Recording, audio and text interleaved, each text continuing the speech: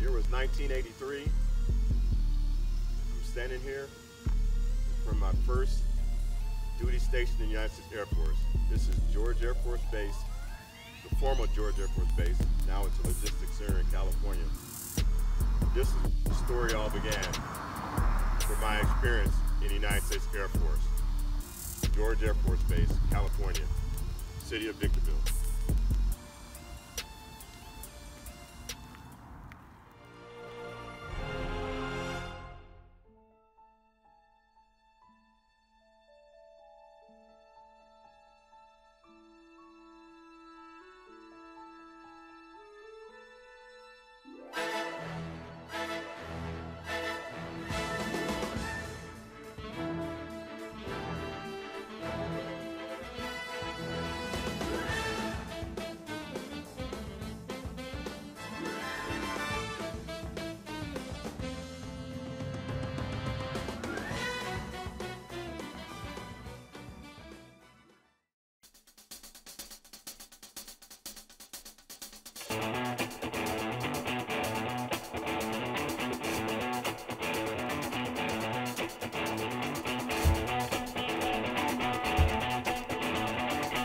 Its job is basically to soak up the air defense.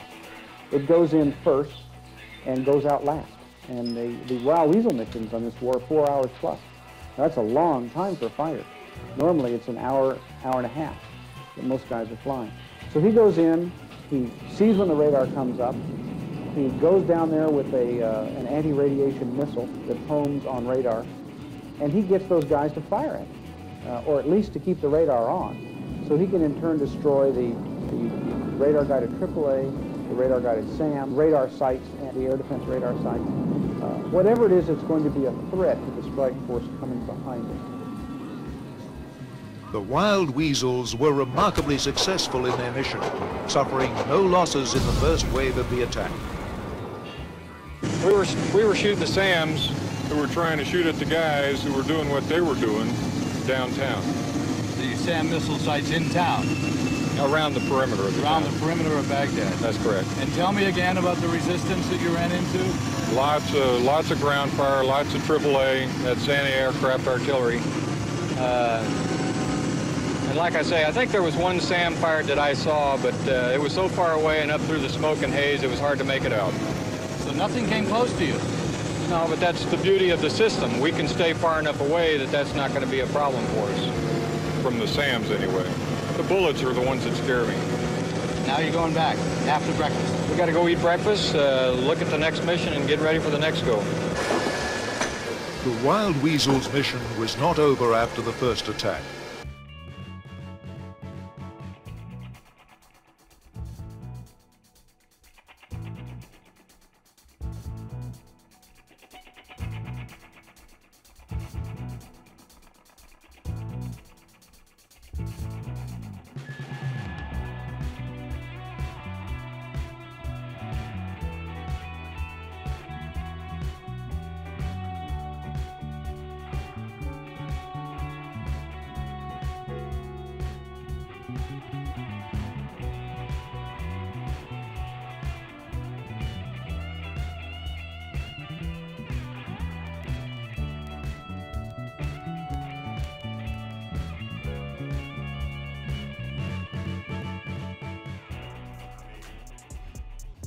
Back in the day, we were in the settler. You see one, you see the other.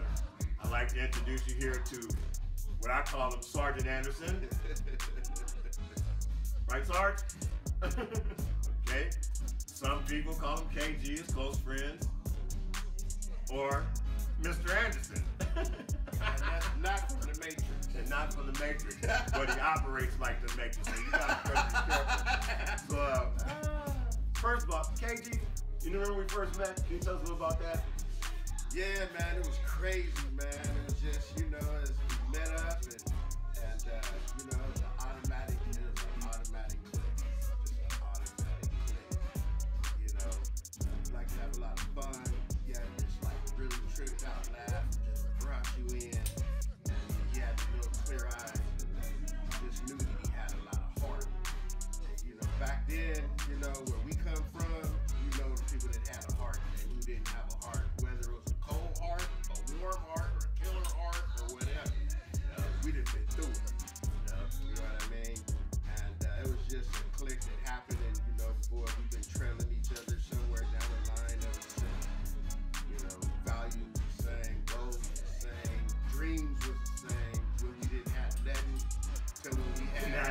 That, that means nothing. We like, We sleeping in the desert in a lowrider truck. yeah, but, but we can cook though, so we ain't worried about that part. Like eating, man. All Go there, get you some beans and rice and maybe some little bacon, dude. You know, just ate for like three or four days. If the pot big enough, we could burn, man. We know we could burn.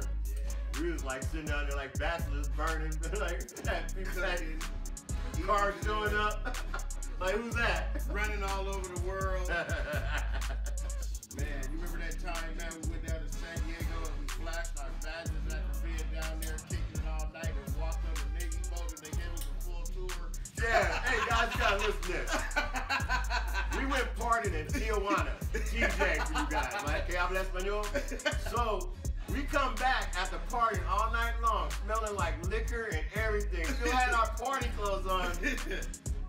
KG said, "Hey man, wanna go to Navy base?" I'm like, "Okay, I'm down."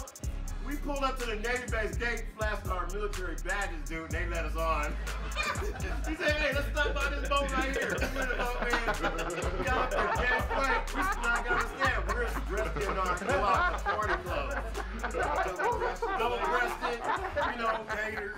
baggy with the cuff pants, you know what I'm saying? Stacy Adams. We show up like that, right? Jheri curl, damn near short window from the airport. So we pull up, and uh, the quartermaster, was like this, like, uh, may I help you? Said, yes, we'd like to tour your ship. And then we flashed our military IDs, and he said, stand fast. Remember that? Was like, them Navy guys always say, stand fast. Yeah, helicopters and all kind of shit in there. It was like a helicopter carrier ship. He gave us a full tour, man. Full I was tour. we were gonna trying to get something to eat out the motherfuckers. you know, and they were saluting us all the way down. Yeah, they were saluting us like we were officers. It was a trip, man. And we, I know we smelled that alcohol because Yeah. we was slamming Bacardi Cokes and shit in Tijuana all fucking night. Shit, we must have been drinking, man. We ain't sleep. We just stayed up. When, when the minute we got off work, we just got in the because we going to TJ. Boom! Party all night. It's like going to Pacha for the first time. As soon as you land, you can't go to sleep right away. You gotta go see the sights. We were out there, man. We hitting all the bars. And then say, well, since we had a wonderful night, let's stop by and fuck with the Navy.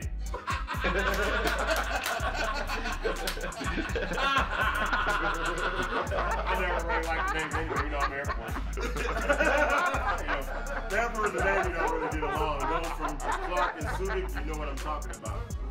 Crazy. they be tripping sometimes, especially throw a few Marines in there. Oh boy, they don't give a fuck about your rank. They be tripping. I'm about to Article 15 all you motherfuckers and y'all laughing. you know? I am a too much. You know to back down. There's articles in there about going to prison in that book called the UCMJ.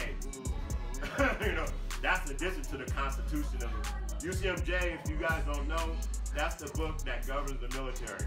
The way you dress, the way you eat, the way you sleep, and then you have another book that's about your job. So they run hand in hand. Any one of these two books could get you kicked out the military at any time if they don't like you. Violate any rule in any of those two books, boy, I better hope people like you. Now it's a wrap. You gone.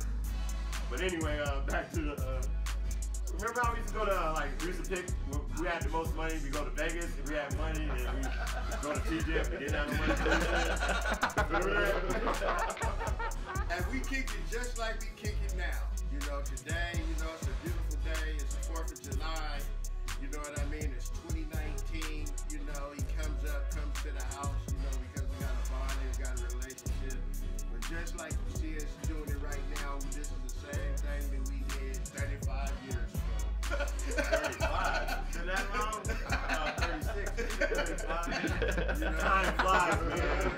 Time flies fast. So don't turn your dreams, man. Hey, following the journey.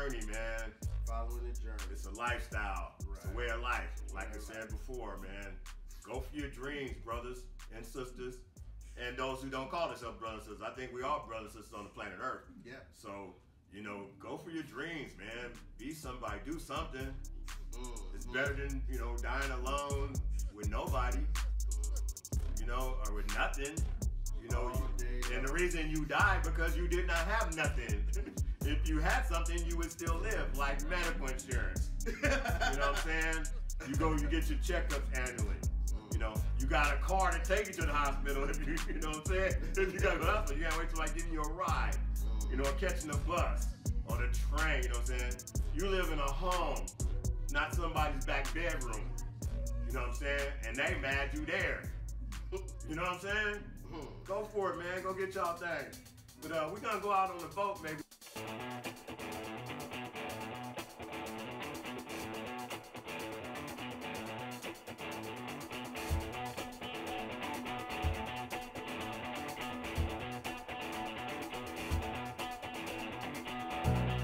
Guys, you're gonna go out here for a little ride out here in beautiful California.